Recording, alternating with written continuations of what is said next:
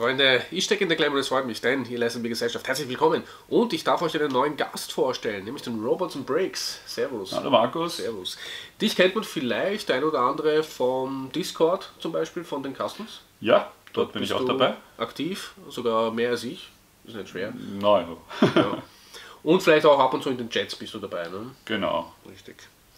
Und auch ein gern gesehener Gast bei mir in der Glemme. Im Sommer war das, glaube ich, hast du dir dieses Set geholt. Da war es verbilligt. Ja, das war, ähm, wie ich das erste Mal bei dir war, das Set, auf das ich zugesteuert bin. Damals war es preislich leider noch. Ja, gleich wieder weggesteuert, weil es richtig, zu teuer war. genau. Ja. Aber ja, genau, da war da eben eine, eine weiß nicht mehr, 25% Aktion oder so. Da kann man dann mal zuschlagen und ich bin froh und dankbar, weil ich habe schon damit gerechnet, dass ich das bis in die Pension äh, mitnehmen werde. Aber dem ist nicht so. Was haben wir hier überhaupt? Ja, das ist ein Modell vom größten derzeit schwimmenden Schiff, ähm, der Pioneering Spirit. Das ist ein Spezialschiff für das Wegräumen und äh, Herstellen von Ölplattformen eigentlich. Okay. Ja, also man kann sagen, ein schwimmender Gabelstapler eigentlich.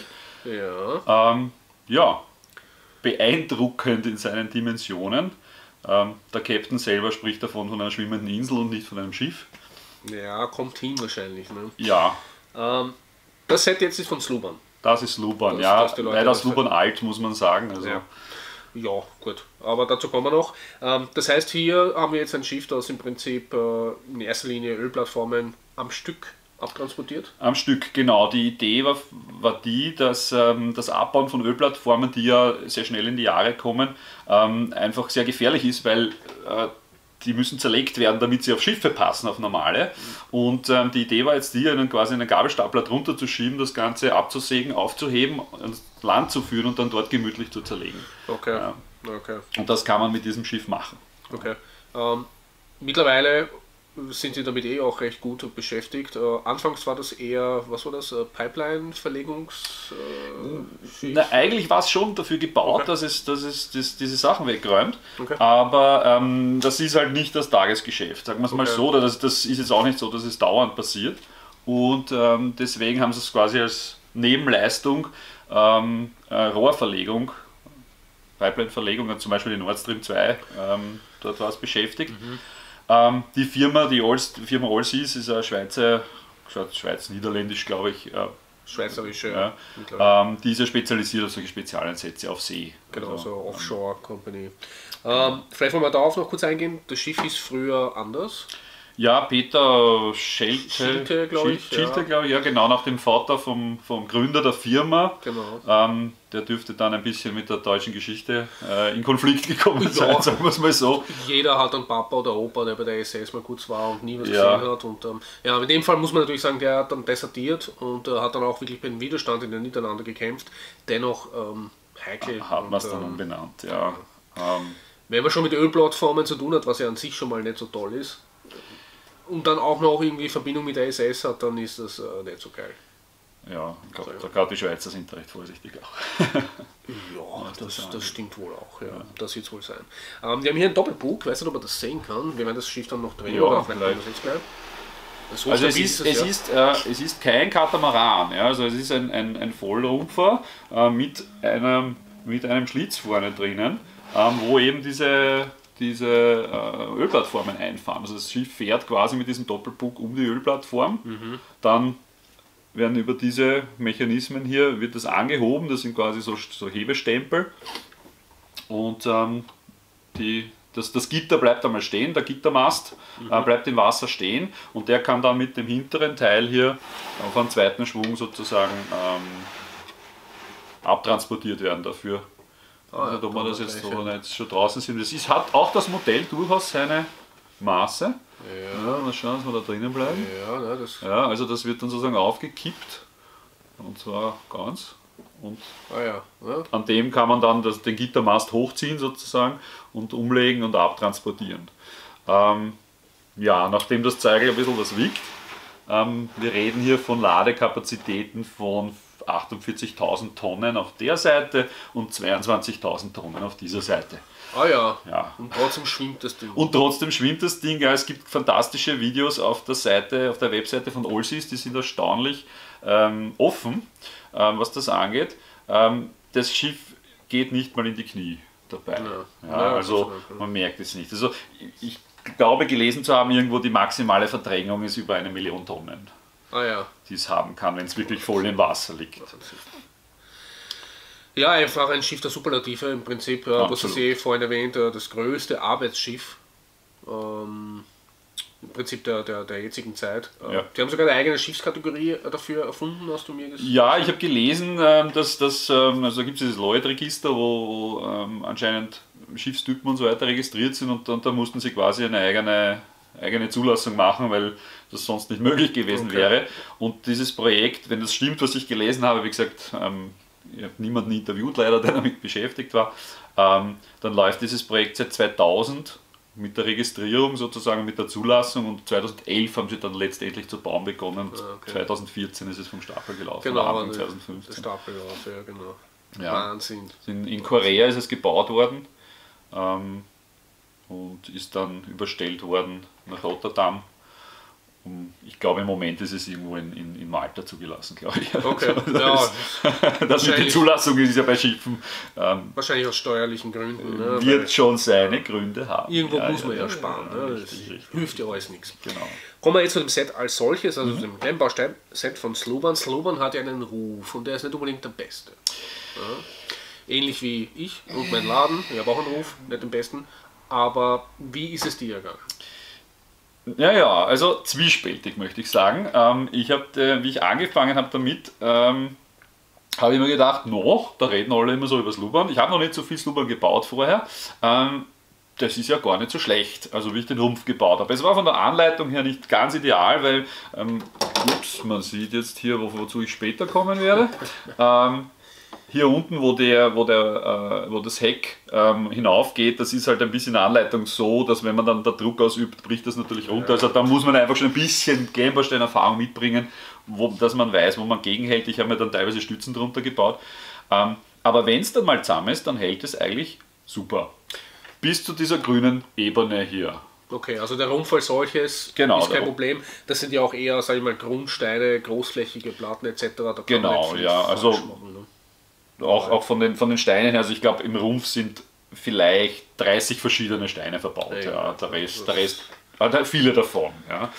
Ähm, der einzige, die einzige Herausforderung beim Rumpf war eigentlich die Anleitung, weil ähm, die zeigt immer das ganze Ding und das ist dann halt irgendwann einmal sehr winzig klein und man Okay. kann kaum erkennen, wenn dann doch irgendwo ein 1x2 Plate verbaut wird, dann findet man die auf dem Bild eigentlich nicht wirklich. Also da muss man relativ kreativ mitdenken, sage ich einmal, Okay. ähm, dass das funktioniert.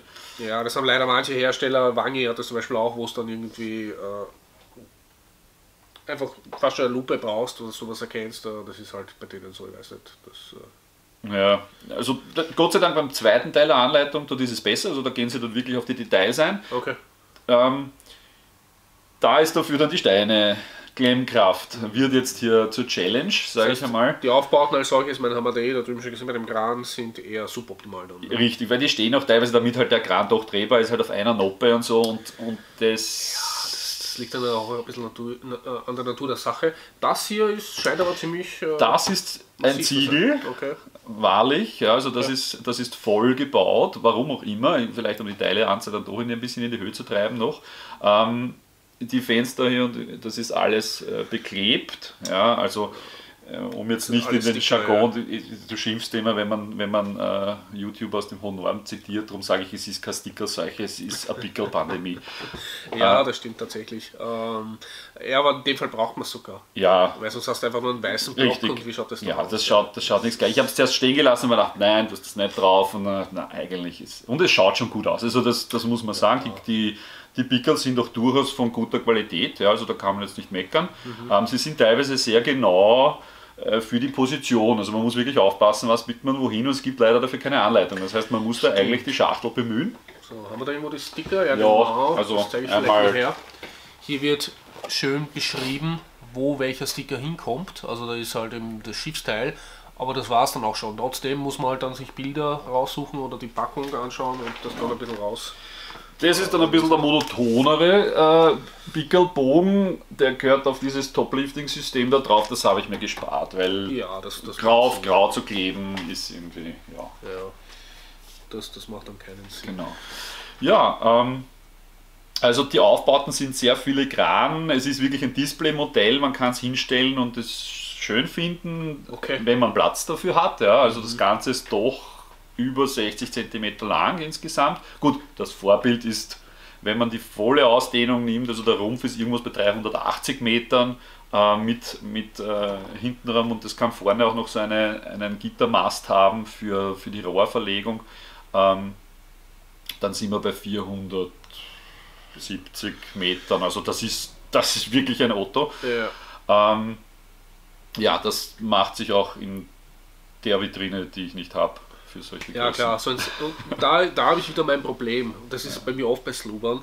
Ähm, die bringen ein Displaymodell raus, wo ich mir denke, für ein Displaymodell ist es aber nicht gut genug irgendwo. Ich weiß nicht. Ähm, auch hier würde mir dann irgendetwas fehlen für ein Displaymodell. Ja, dann, der Maßstab ist ja auch ein Problem. Nicht? Also, in Wahrheit, wenn man jetzt, wenn man das, ich habe es versucht ein bisschen umzureden, es ist vom Maßstab her nicht ganz proportional, das muss man sagen. Ähm, also so von der Länge her in etwa 1 zu 600. Ähm, die Breite spielt da nicht mehr ganz mit. Also das heißt, wir hätten von einer Figurengröße von 2 bis 3 mm, sage ich einmal. Okay. Ähm, also da ist Ja, der gut. Detailgrad von Klemmbausteinen halt enden wollend. Also man müsste hier vielleicht mit Lotzsteinen aufbauen. Ja, das stimmt. dann. Das stimmt. Nur, ja. ja, wenn ich mir das Set anschaue, das, das schaut für mich eher so aus, als wäre das ein Spielset, wo die Kinder schön Spaß haben und spielen können, weil es ist ja auch zumindest der, der Unterbau ist re relativ robust. Das tut ja auch. Ja. Aber dem ist halt dann auch nicht so. Man muss wissen, wo man es angreift, sagen wir es mal so. Ja, ähm, jetzt bevor wir hier angefangen haben, musste ich es wieder instand setzen, weil allein die, die Autofahrt hierher hat schon dafür gesorgt, dass das Deck geräumt war. Sozusagen. Okay, ja, super. Ähm, Ähm, da vorne diese weißen, ähm, was auch immer das sind. ja, das ist der, der, der, das Top-Leveling-System, also das, Ja. das Top kommt vom Top der Bohrinsel, also der hebt sozusagen wirklich den ganzen Okay, ja. Kasten oben auf. Ja, also wie gesagt, nochmal, dass man sich vorstellen kann, ja, also diese, diese grauen Elemente hier, wir kippen es vielleicht ein bisschen Ja, auf, ja, dass man es besser sieht. Ja, ja. Oh, ich baue mal den Kran weg, sicherheitshalber. ist Ähm, diese grauen Elemente, die können ein- und ausfahren und die werden weggefahren, dann fährt das Schiff um die Bohrinsel herum, also die Bohrinsel ist jetzt hier in der Mitte und dann wird das wieder hineingefahren und wird, wird mit diesen Hochgehoben, Stempeln ja. hier hochgehoben. Ähm, äh, was, was kann er? Ich glaube, irgendwas so drei Meter oder so kann er das hochheben. Das Spannende dabei ist, ähm, es ist zugelassen für äh, Dienst bis zu dreieinhalb Meter Wellengang und es kann aber die Bohrinsel stabil halten. Also das heißt, da ist ein, äh, ein, ein, wie soll ich sagen, ein Regelungssystem drinnen, ja, dass die Bohrinsel gerade hält, obwohl das Schiff drunter rauf und runter fährt. Ja. Also das ist, das ist wirklich beeindruckend. Man sieht das auf einigen Videos auf der Webseite auch, ähm, wie diese, diese Elemente, diese Hydraulikelemente hier, ähm, das ausgleichen und gleichzeitig trotzdem hinauf und Ja, hinunter fahren. Das ja, ist ja. maschinenbaulich unglaublich. Ja, das glaube ich. Also, ist aber in dem Fall auch notwendig, weil wenn so eine Ölplattform mal zum Rutschen beginnt, dann genau, ist richtig. Ja. Gelände. Genau. Ähm, diese Polster oder wie auch immer, die sind einfach nur draufgelegt. Die Wahrheit, sind ne? nur draufgelegt und die Pins, die sie halten sollen, sind Nojo. ja. Das einzige Bemerkenswerte an diesen Pins ist, äh, oder an diesem Set generell, ähm, Lego hörst du zu, äh, die Pins sind immer in der Farbe, wie sie dort gerade passen. Okay. Also es gibt weiße Pins, wo man es weiß braucht, es gibt rote Pins, wo man es rot braucht. Das ist cool. Ähm, Das passt. Allerdings halten es halt nichts. Ne? allerdings halten es nichts, ja, Sloban hörst du zu. Ja, wie man es macht, ist falsch. Ne? Genau, genau. Ja, also das ist eher suboptimal. Ansonsten gab es noch irgendwo Schwächen oder, oder Stärken. Ja, äh, die, diese, diese angedeuteten ähm, Schrauben, von denen es eine Menge gibt, die gehören da unten irgendwo hin. Okay. Äh, ja, Ah, okay. Die, die, die gebe ich nicht einmal drauf, wenn ich sie, wenn ich sie irgendwo hinstelle, weil, weil nur das Hinstellen ruft sie schon runter. Okay. Ja, also das ist jetzt nicht so. Ähm, es ist, ich finde schon, dass es erstaunlich nahe optisch vom Original ist. Also wenn man jetzt sich Bilder anschaut, ähm, man erkennt es natürlich sofort wieder, klar, Ja, die. Rumpfform ist ikonisch, aber ähm, auch so, auch die Details, diese, diese einzelnen Kräne, ja, also es hat ja einen Haufen Kräne noch drauf. Ähm, äh, weil es ja nicht so viele Bohrplattformen gibt, wie gesagt, verbringt sie auch sehr viel Zeit mit Rohrverlegen. Dazu ist hier im Rumpf, das ist leider nicht nachgebaut, sondern der Rumpf ist einfach hohl, ähm, eine, eine riesen äh, Pipeline-Station, in, in der man schweißen kann. Ähm, da würde aber hier vorne noch ein Gittermast eingebaut werden, der die, der die Rohre ähm, sozusagen runterlässt. Ja, also kann bis zu vier Kilometer Tiefe kann das, kann das Rohre verlegen und hält die Rohre halt über diese lange Distanz, über das Rohr hängt dann so runter, ja, ähm, hält, hält das Schiff, ja, so 2000 Tonnen, okay. dieser S-Lay Tension, wie es so schön heißt, weil das so eine S-Kurve macht, mhm. ähm, hält das Schiff und damit ist es auch Weltrekordhalter im Moment. Wahnsinn. Ja, und diese Kräne, ich meine, wir reden hier von so Kränchen, ja, also so 5000 Tonnen Kran und 600 Tonnen Kran und so. Ja, also so, Kleinigkeiten. Das haut man halt, ja, ne? Richtig. Das haut man halt. Ja, naja, es sind schon Teile, die sie abbauen, teilweise auch. Also zum Beispiel so Verbindungsbrücken von Bohrplattformen und so weiter, die werden dann mit dem abgehoben, die stellt er sich halt mal so aufs Deck. Ja, ist ja ein bisschen Platz da und ja, fährt dann nach Hause. Ja. Also man muss es sich mal angeschaut haben. Ja, also wenn, wenn das Thema interessiert, empfehle ich die, die Webseite von All Seas, ja, sich dort mal so ein Video anzuschauen, wie dieses Schiff operiert. Also es, ist, es, ist, es ist beeindruckend. Mhm. Ja. Ich habe hab ein bisschen Maschinenbau-Historie in meiner Ausbildung und deswegen spricht ja, mich das natürlich das, noch mehr an. Das, ja. ist, das ist ganz klar. So, ähm, jetzt quasi allgemein gesprochen, der Bau, wie war der für dich jetzt? jetzt ähm, der erste Teil war gut, der zweite vielleicht nicht so, aber jetzt quasi als Konklusio? Ich habe mir es aufgehoben für, für, für was Spezielleres, sage ich einmal. Also es war jetzt nicht so eine Zwischendurchgeschichte. Habe dann am See, an einem See gebaut. Ja, das ein bisschen ein Connex dazu sozusagen. Ähm, sehr entspannt, meine Kinder haben ein bisschen mitgeholfen am Anfang, dann war es ihnen zu eintönig, verstehe ich. Ja, also der Rumpf ähm, ist natürlich jetzt nicht die die spannende Geschichte zum Bauen.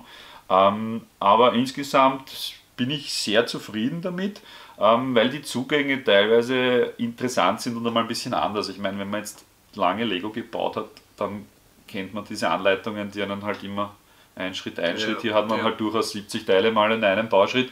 Ähm, und was auch sehr spannend ist, also mal abgesehen davon, dass man eine gute Brille braucht für den ersten Teil der Anleitung, beim zweiten Teil der Anleitung, diese, diese Elemente, das wird in Modulen gebaut.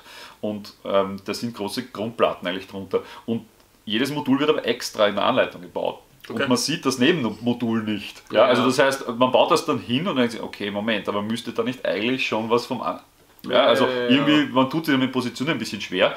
Ähm, ist, aber, ist aber auch spannend. Also es schaut irgendwie aus, als hätten es fünf verschiedene Designer dann und jeder hat dann seins hineinkopiert in die Anleitung. Das, ist, ja. das weiß man bei Slogan ja. nicht. Ja. Das kann alles sein bei ja.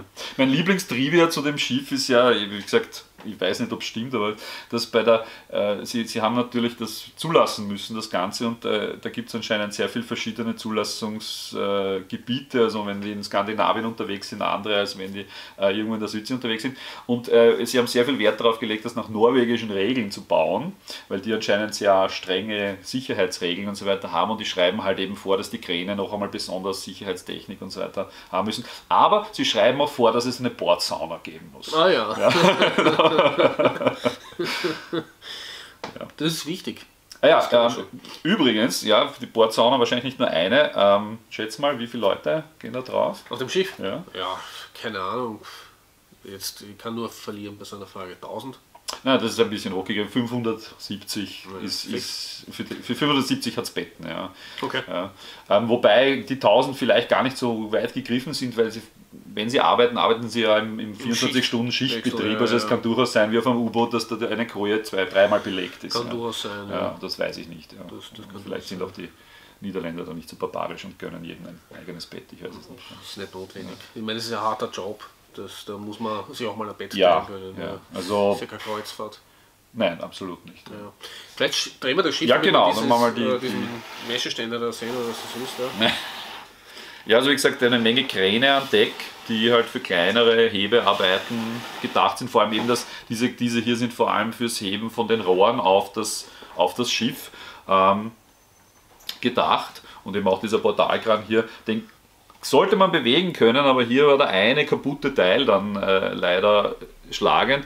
Ähm, bei diesem äh, Technikteil, Technikteil der so, so ähm, zwei, zwei Richtungen hat. Da ist witzigerweise die, die, die, Kreuzachse, das Loch für die Kreuzachse ist um 30 Grad verdreht. Mhm. Wie, wie das produktionstechnisch schiefgehen hat können, erschließt sich mir nicht, aber okay, es ist so. Dementsprechend ist das bei mir ziemlich unter Spannung. Ja. Ähm, ich hatte jetzt keinen, keinen passenden Dyson, der, mit dem ich das ersetzen konnte. Deswegen schaut das jetzt alles ein bisschen schief aus hier. Aber im Prinzip, wenn es denn. Äh, ich habe es mal einmal kurz ausgetauscht oder einfach weggelassen. Man kann es dann auch wirklich schieben. Also es hätte Okay. Spielfeature. Ja, immerhin. Hätte. Immerhin. Ja. Da sind wir wieder bei dem Hybrid bei Sluban. Genau, Ja, ja. Ein bisschen kann man spielen, ein bisschen kann man sich schön anschauen. Ähm, was wird das dann für dich sein, für eine Verwendung? Weil Display hast du gesagt, eher nicht. Nee, ich, ich schau mal. Ja. Also ich habe äh, ein anderes Display, also ich habe meine, meine, meine Kirche von Digau, die wurde mir auch schon abgenommen sozusagen. Okay. Die freut sich meine Mutter, die, dass sie bei ihr steht. Hat das als, als, als, als Beleuchtung bei sich zu Hause stehen. Vielleicht gibt es ja Interesse. Ich muss mal schauen, ob ich es bei mir in der Schule ähm, einmal herzeigen kann, weil es ja doch ein, ein, ein spannendes Thema ist, wo man eben Stimmt, sehr viel über ja. Hydraulik reden kann, über Schiffstechnik reden kann, über Fördertechnik reden Sicher. kann. Also da gibt es sicher den einen oder anderen Kollegen, der das vielleicht einmal herzeigen will. Dann werde ich es vermutlich eher zerlegen. Also Teilespender, ne? Teilespender, ja wie gesagt, schöne große grüne Platten, die halten auch was. Ja. Ähm, weiße Bricks, So schwarze Panels genau. und diese, diese Panels ohne Ende, ja, also das hat man hier auf, auf, auf beiden Seiten. Also. Ja, also die, die, Damit kann man schon was anfangen. Ja, und die Technikteile sind auch durchaus ähm, witzig. Die haben, die haben ein bisschen eine andere Form, das wird vermutlich irgendwelche lizenzrechtlichen äh, Gründe haben. Ähm, die bringen durchaus ein bisschen gestalterisches Leben hinein, ja, Ja, okay. auch, auch bei den, bei den äh, Technikteilen. Ja. Genau. Wo ist mein Lieblingsteil? Mal schauen. Der, der schaut nämlich, der passt so gut zum Schiff, sie haben ihn leider da irgendwo eingebaut. Mal schauen. Der schaut mir aus wie so ein bisschen wie ein Poller von, von, zum Festmachen von einem Schiff. Ah, okay. Muss man mal suchen, da irgendwo da im Kram. Ich baue den Kram mal kurz ab. Ja. ja, ansonsten. Ja, die, die äh, wenn wenn Sluban wo Klemmkraft kann, dann ist das bei den Kreuzachsen. Ah ja, ja gut. Ja. Also das, das ist mein, mein, mein Favorite-Teil hier sozusagen. Ich weiß nicht, ob man das sieht. Ja, das, äh, mal schauen. ob Genau, du hast da mehr Erfahrung mit deiner Kamera. Genau. Und der Ja, ist für, schon. für sich optisch funktioniert einfach. Ja. Ja. Nicht, man ist natürlich einfach ein, ein, ein 1x2 Kreuzachsen-Brick, aber ja. ja, funktioniert einfach. Kurzum, ähm, den Kauf hast du nicht bereut. Nein, habe ich absolut nicht bereit. Vor allem die, die, der Bau war doch über ein paar Stunden, Ah, sage ich einmal. okay. Also ja, meine, meine Umgebung habe ich ein bisschen äh, verwundert damit. Ja, die haben nicht so wirklich einen Bezug zu alten Männern, die mit Klemmbausteinen spielen. Ja, das, das, das höre ich so oft. Das ist unglaublich. Ja, aber ähm, die waren dann doch recht interessiert, weil wie gesagt, ich habe das in einem, in einem Setting gemacht, sage ich mal, wo, wo durchaus Schiffsliebhaber auch dabei waren. Die waren dann alle recht interessiert, aha, was ist denn das? Und, Ja. und so, Ja, ja. und Man merkt es ja auch bei uns, es bietet schon auch äh, dann Platz, dass man darüber redet, weil es ist ja, Ja. beeindruckend. Ja. Also das, das wahre, wahre Vorbild ist ja wirklich beeindruckend. Da kann man ja wirklich lang drüber reden. Vor allem, wenn man wirklich Absolut. affin ist, schiffaffin oder, oder eben Maschinenbau in der Richtung ist, dann Ich kannte das Ding vorher nicht. Okay. Ja, also ich habe mir das Set gesehen und gedacht, wow, was ist das? Was hat sich diese Firma da ausgedacht für ein Schiff? Dann habe ich ein bisschen nachgeschaut und das gibt es ja wirklich. Ja. ja. Und dann ist man beeindruckt. Spätestens dann ist man wirklich beeindruckt von dem. Ja. Also man hat also auch einen Bildungsauftrag in der Klemmbausteinwelt. Das ist schön. Absolut. Das ist schön. Absolut. So das soll es kann- ja sein. So, so, so kann man es machen. Ja, und auch wenn man es mit Kindern macht, wie gesagt, also ist jetzt nicht unbedingt das Set, das mit Kindern großen Spaß macht, weil natürlich, wenn sie helfen wollen, jetzt da zusammenbauen und dann greifen sie das an und das fällt wieder runter, Mhm. ähm, ist jetzt nicht ideal, sage ich mal, aber trotzdem, es ist ein, äh, sie zeigen ja Interesse. Und was ist denn das und warum schaut das so aus? Ja. Ja, man, man macht etwas mit den Kindern. Das ist schon mal Genau. gut. Man kann auch ein bisschen ihnen was beibringen, einfach spielerisch, das ist super. Und vielleicht sehen sie irgendwann einmal dann eine Doku mit dem Schiff und dann denken, hey Papa, schau, das haben wir ja gebaut. Und dann Genau. hat man sie. Dann hat man sie genau dort, wo sie hin sollen, nämlich. Ne? Richtig, Interessiert, wollen sich selber irgendwie weiterbilden. Also passt doch. Ja, ähm, gibt es noch etwas, was du uns sagen möchtest? Vielleicht noch so zum Drüberstreuen. Zum Drüberstreuen, ja, noch ein letztes Trivia vielleicht. Das, das Ding ist gebaut worden, ja, man muss sich ja vorstellen, allein der Stahl dafür benötigt wird. Und äh, wie gesagt, angefangen hat das Ganze, ich glaube, die Idee hatte der, Design, äh, der, der, der, der Gründer von der Firma irgendwann so 1986 oder so. 2000 hat man dann begonnen, ähm, das, die, die zu starten, diese Registrierung und diese, diese Zulassung und hat dann 2011 zu bauen begonnen. Also ein wahnsinniger Zeitraum. 2014 ist dann fertig. So, nichtsdestotrotz, während des Baus sind sie draufgekommen, ups, das Ding ist zu schmal. Und haben es in der Mitte wieder auseinandergeschnitten, um dort sieben Meter einzusetzen. Wow. Haben einen Streifen gebaut in der Mitte und haben es wieder zusammengefasst. Ja, also ähm, Projektmanagement at its best, Ja. Lauter Pusher, es ist ja unglaublich. Ja, also unglaublich, was das gekostet haben muss, allein diese Änderung dann noch. Ja. Ja, das Ding, ja, ich meine, das Ding an sich kostet ja sicher ein paar Milliarden, hat ein paar Milliarden gekostet wahrscheinlich. Das kann ich nicht sagen. Ja. Da- Das ist vielleicht die einzige Information, über die sich Allseas ausschweigt. ja. Ich bin mir ein, auf Wikipedia war da ein, ein, eine Summe, aber ob, ob die stimmt, das, äh, Also ich glaube, sowas, sowas kann man nicht wirklich ein, ein Preispickel verpassen. Ja, ja. aber immerhin haben sie es ja geschafft. Ne? Ja, ja, eh. Und ich meine, besser sie, als das ist im Dienst und dann schneiden sie es wieder auseinander. Ne? Ja, eh. du, aber solche Fehler gibt es. Es gibt ja auch irgendwie Brücken, wo sie auf zwei Seiten anfangen zu bauen und dann irgendwie kommen es nicht zusammen. Soll es geben, habe ich gehört. Ja, ja. Vor allem im Asien passiert das mitunter. Aber ja. Ist meistens sehr letal für den Designer. das, ja das stimmt. Der und seine Familie haben dann ein bisschen an Urlaub. Ja. Ja. Ja, und, und Kasernen, die keine Klos haben und so. Ja, ja, Kommen ja. vor. Das passiert. gehört, Das ist ein ganz eigenes Lebensgefühl. Muss man einfach wissen. Gut, vielen Dank, dass du uns das Set vorgestellt hast. Ich fand das super interessant. Ich sehe das jetzt mal in echt und ähm, das, das war immer eines dieser Sets, die ich gerne mal sehen wollte, weil das ist für Sluban sehr außergewöhnlich. Ja, Ja. Wäre toll, wenn Kobi sowas machen würde, da bin ich jetzt ganz ehrlich. Wenn Kobi so ein Set bringen würde, uff, das wäre fantastisch. dann möchte ich aber den Bauteilehammer von Mold King dazu haben. ja, ja, das wird dann wirklich ein Klopper, das stimmt schon. Das stimmt schon. Ja, Aber auch für Kobi wäre das außergewöhnlich und für Sluban ist es noch dreimal Ja. außergewöhnlich. Ich weiß nicht, wie diese, diese Zusammenarbeit mit All Seas ähm, zusammenkam, aber macht ja nichts. Ähm, wir sind da jetzt die, die Nutznießer davon. ja das, das, das liest man nichts drüber. Also man, es ist zwar ein Special bei, bei, bei Richtig, ja. aber es ist jetzt nicht, dass man sieht, ja, Lizenz oder irgend sowas liest man nicht. Ja. Ja. Ich meine, ganz unglücklich dürften sie nicht sein. Nein, ich glaube, irgendwo glaub ich bei Allseas habe ich mal auf irgendeiner Webseite auch gesehen, dass sie es sogar verlinkt haben. Ah, okay. Ja, das sind ja re- recht gechillt. Ja, ja. Und wie gesagt, ich kann nur jedem empfehlen, der sich ein bisschen für Schiffe interessiert, geht auf die Webseite, schaut euch mal ein Video an von diesem Schiff. Es ist Ich werde einen Link, beeindruckend. ich werde da gerne einen Link unten reinsetzen ins Video. Ähm, ja, vielen Dank, dass du uns das gezeigt hast. Bitte Wenn es gerne. Fragen gibt an Roberts Bricks, dann schreibt sie in den Kommentaren. Er wird die dann gerne beantworten. Oder vielleicht auch ich. Äh, wenn ihr das schon mal gebaut habt, die 1, 2, 3 Leute weltweit, dann schreibt rein, wie war es für euch?